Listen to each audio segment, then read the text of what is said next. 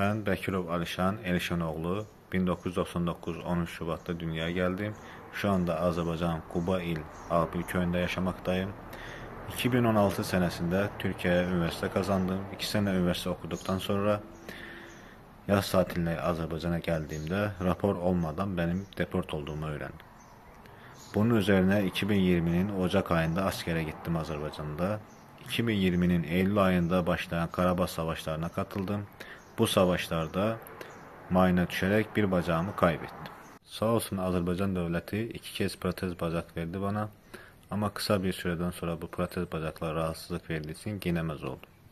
Bunun üzerine yaptığım araştırmalarda e, özel bir hastanede düzenlenen protez bacağı başvuru yaptım ama maddi imkanım olmadığından bu protezi alamadım. Bir yardımın yapılması için Ahıska derneklerine başvuru yaptım.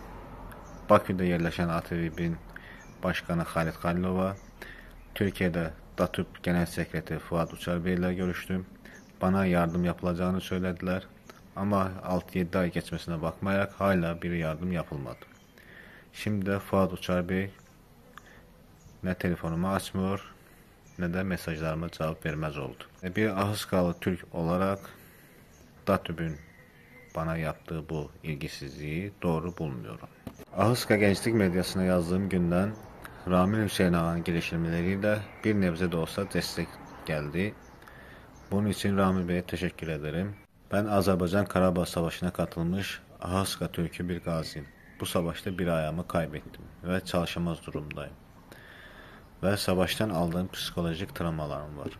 Datub'un benim gibi bir Ahıskalı gaziye, bir bacağını kaybetmiş bir gaziye yaptığı bu ilgisizliği kabul etmiyorum. Bu yüzden de sessizliğimi bozuyorum. Gerçek Ahıskalı Türklerden, Ahıska Türk kardeşlerimizden bana yardım edeceğini umuyorum. Şimdiden herkese teşekkürler.